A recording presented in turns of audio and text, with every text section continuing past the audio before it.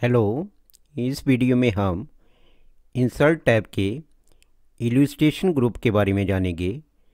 तो इसमें हमारी यहाँ पे तीन कमांडें हैं। पहली है शेप्स कमांड सेकंड है स्मार्ट आर्ट कमांड और थर्ड है चार्ट कमांड तो यहाँ पे हमारी जो पहली कमांड है शेप्स कमांड शेप्स के बारे में हमने पिछली वीडियो में डिटेल में बताया।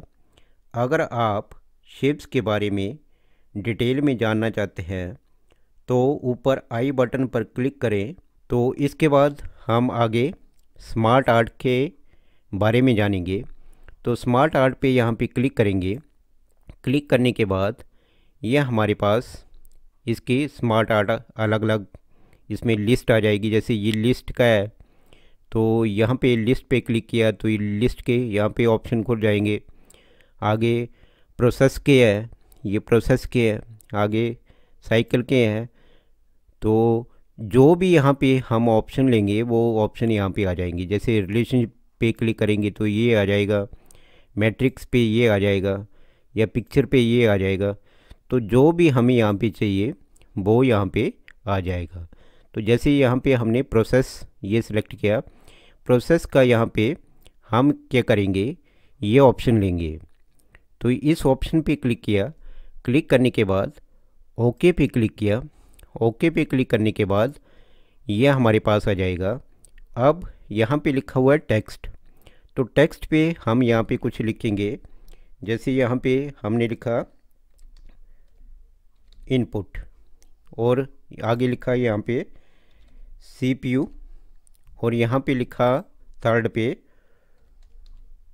आउटपुट ये ये हमने यहाँ पे लिख दिया। लिखने के बाद ये हमारे पास यहाँ पे आ जाएगा, जैसे टेक्स्ट पेन पे। पेन पे ये क्या है, अगर हम यहाँ पे कुछ चेंज करना चाहते हैं, जैसे ये टेक्स्ट पेन यहाँ पे खुल जाएगा।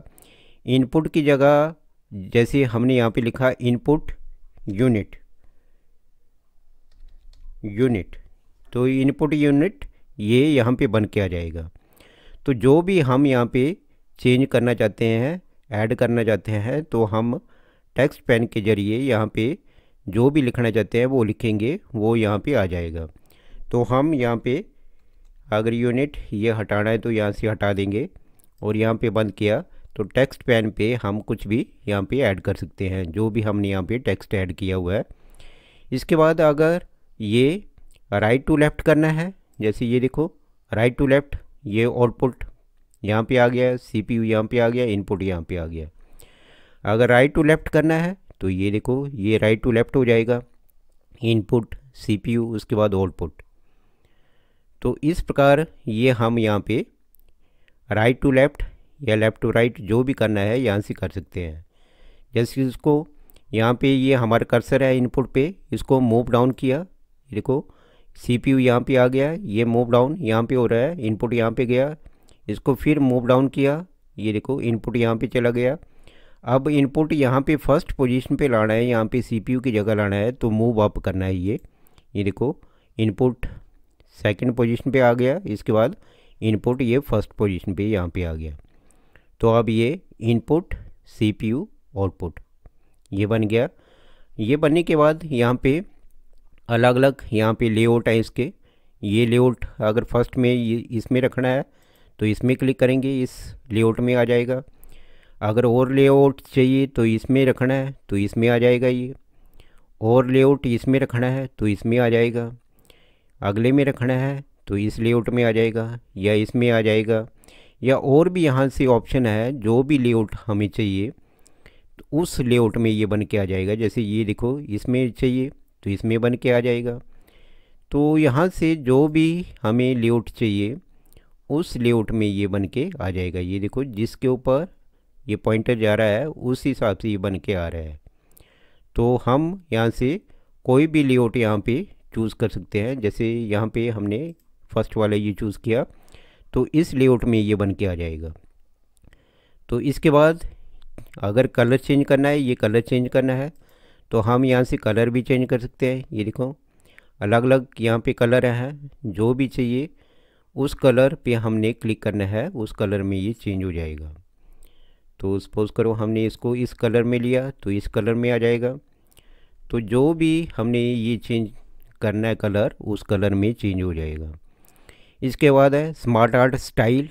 ये स्टाइल दिए हुए हैं, किस स्टाइल में चाहिए? तो जिसके ऊपर यहाँ पे क्लिक किया, ये देखो इसमें चेंज हो रहा है। अगले में क्लिक किया, ये अगले में चेंज हो गया। इससे अगला चाहिए तो ये अगला चेंज हो गया। तो जो भी यहाँ पे हम स्टाइल चाहिए स्मार्ट आर्ट के उस स्टाइल में ये चेंज होता जाएगा। ये देखो जैसे मुझे ये स्टाइल चाहिए, इस स्टाइल में ये बन के आ जाएगा। अगर रीसेट करना है तो रीसेट करेंगे, ये रीसेट हो जाएगा।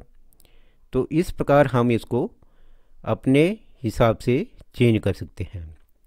तो ये हमारा स्मार्ट आर्ट का हो गया। स्मार्ट आर्ट के बाद हम अगली कमांड चार्ट के बारे में जानेंगे तो इसके लिए हम क्या करेंगे? यहाँ पे न्यू स्लाइड पे जाएँगे, ब्लैंक स्लाइड पे जाएँगे यहाँ पे, ये ब्लैंक स्लाइड यहाँ पे आ जाएगी। इसके बाद चार्ट के ऊपर यहाँ पे क्लिक करेंगे। क्लिक करने के बाद ये अलग अलग यहाँ पे आ जाएँगे, जैसे ये कॉलम का है, लाइन का है, पाई का है, बार का है, एरिया का है। तो यहाँ से बहुत से यहाँ पे ऑप्शन दिए गए हैं। जो भी चार्ट यहाँ पे हमें चाहिए उसके ऊपर हम क्लिक करेंगे। जैसे यहाँ पे कॉलम, यहाँ पे क्लिक किया। क्लिक करने के बाद यहाँ पे इसको ओके किया। ओके करने के बाद ये जो है, ये एक्सेल यहाँ पे शीट ओपन होगी। इसमें क्या है, ये जो यहाँ पे वैल्यू ऑटोमेटिकली यहाँ पे आ जाएगी। तो ये जो वैल्यू भरी हुई है, उस हिसाब से यहाँ पे ये कॉलम चार्ट यहाँ पे बना हुआ है। तो अगर हम यहाँ पे कोई भी वैल्यू चेंज करेंगे, ये चार्ट भी यहाँ पे चेंज हो जाएगा। जैसे ये देखो, कैटेगरी फ़र्स्ट, ये कैटेगरी फ़र्स्ट है ये। आगे कैटेगरी सेकंड, ये कैटेगरी सेकंड का है ये ये जो वैल्यू भरी हुई है, उस हिसाब से ये बना हुआ है। जैसे कैटेगरी थर्ड, ये कैटेगरी थर्ड है ये ये कैटेगरी फोर है। तो ये जो है कैटेगरी, यहाँ पे बनाई गई है। तो इसको अगर हम यहाँ पे वैल्यू, जैसे सपोज़ करो, यहाँ पे हमने वैल्यू चेंज की। जैसे कैटेगरी वन ये सीरीज़ वन यहाँ पे क्या है ये? ये वैल्यू हमने यहाँ पे रखी। सिक्स ये सिक्स रखी। ये सेकंड में यहाँ पे भरा हमने। ये देखो सिक्स रखी तो ये ये जो है कैटेगरी वन में ये सिक्स चला गया ये। जो हमने सीरीज़ वन यहाँ पे रखा सिक्स ये कैटेगरी फ़र्स्ट ये सिक्स रखा यहाँ पे तो ये सिक्स चला गया। अब ये सेकंड के लिए जो भी हम ये सीरीज़ सेकंड यहाँ पे जो वैल्यू भरेंगे, जैसे हमने यहाँ पे वैल्यू भरी फोर तो ये फोर तक यहाँ पे चला जाएगा, यहाँ तक जाएगा ये। ये देखो, यहाँ पे हमने भरा फोर तो फोर करने के बाद ये देखो, ये फोर यहाँ तक ये चला जाएगा। यहाँ पे जैसे मैंने यहाँ पे टू लिखा हुआ है सीरीज़ थ्री पे यहाँ पे थ्री लिखा मैंने तो ये जो है, ये यहाँ तक चला जाएगा। तो ये देखो यहाँ पे मैंने थ्री लिखा। तो थ्री लिखने के बाद ये देखो, ये जो है थ्री यहाँ तक चला जाएगा। तो जैसे जैसे हम यहाँ पे वैल्यू चेंज करेंगे, ये हमारा कॉलम चार्ट यहाँ पे चेंज होता जाएगा। अब कैटेगरी सेकंड में, ये कैटेगरी सेकंड है। इसमें चेंज करना है कुछ तो यहाँ पे वैल्यू चेंज करेंगे। जैसे यहाँ पे वैल्यू हमने रखी वन तो वन रखने के बाद ये देखो, ये वन पे आ जाएगा। ये इसके बाद यहाँ पे आगे रखा थ्री तो यहाँ पे हमारे ये जो है फोर पॉइंट फोर है, ये तो ये फोर पॉइंट फोर है। अगर इसको थ्री करेंगे तो ये यहाँ तक आ जाएगा। ये देखो, यहाँ पे थ्री लिखा। लिखने के बाद ये देखो, ये थ्री तक यहाँ पे आ जाएगा। तो इस हिसाब से हम यहाँ पे जो वैल्यू भरेंगे, उस हिसाब से ये हमारा कॉलम चार्ट बन के आ जाएगा। तो इस प्रकार हम ये चार्ट यहाँ पे बना सकते हैं और यहाँ पे वैल्यू भरेंगे तो ये वैल्यू वैसे ये चेंज होता जाएगा।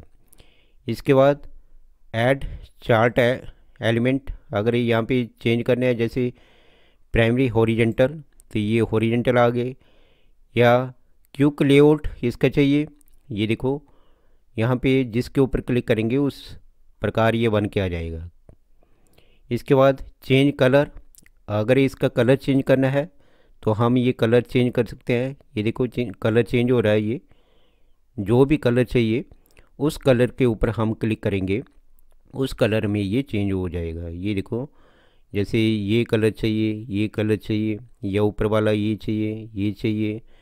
तो जो भी कलर हमें चाहिए, उस कलर के ऊपर हम क्लिक कर देंगे। जैसे सपोज़ करो मुझे ये कॉलम ये चाहिए या ये चाहिए इसके ऊपर क्लिक किया तो इसमें ये आ जाएगा।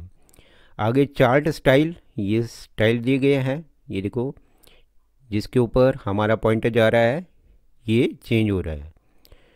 तो जो भी यहाँ पे चार्ट स्टाइल चाहिए, वो चार्ट स्टाइल यहाँ पे आता जाएगा। जैसे ये ये चाहिए तो इसमें आ जाएगा। अगर इसके बाद ये अलग अलग चार्ट हैं, जो भी हम लेना चाहते हैं, उस पर हम क्लिक करेंगे, वो चार्ट यहाँ पे चेंज हो जाएगा। एडिट डाटा करना चाहते हैं तो डाटा को एडिट भी कर सकते हैं ये डाटा। एडिट, यहाँ पे जैसे सिक्स लिखा हुआ है, फाइव लिखेंगे तो ये चेंज हो जाएगा, ये देखो, फाइव लिखा है, ये फाइव तक चला गया ये। तो यहाँ पे फोर है, यहाँ पे अगर मैंने वन लिखा तो कैटेगरी वन, ये देखो, ये ग्राफ जो है, ये वन यहाँ तक आ जाएगा नीचे, यहाँ तक। तो यहाँ पे मैंने वन लिखा। वन लिखने के बाद ये देखो, ये वन तक आ जाएगा ये। इसको टू किया तो ये यहाँ तक आ जाएगा। ये देखो, एडिट हो रहा है ये ये टू किया। तो ये टू करने के बाद ये टू यहाँ तक आ गया। तो इसको हम वैल्यू को यहाँ पे चेंज भी कर सकते हैं। और जैसे ही हम यहाँ पे वैल्यू चेंज करेंगे ये भी चेंज हो जाएगा। तो इसके बाद अगला है हमारा चेंज चार टाइप अगर ये जो हमारा कॉलम का है, इसको चेंज करना है तो हम इसको चेंज भी कर सकते हैं। जैसे इसको यहाँ पे पाई में किया ओके किया तो ये देखो, ये चार जो है, इसमें पाई में आ जाएगा।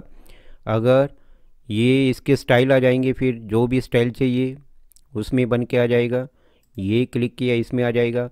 और चार्ट टाइप चाहिए तो और भी हैं यहाँ पे।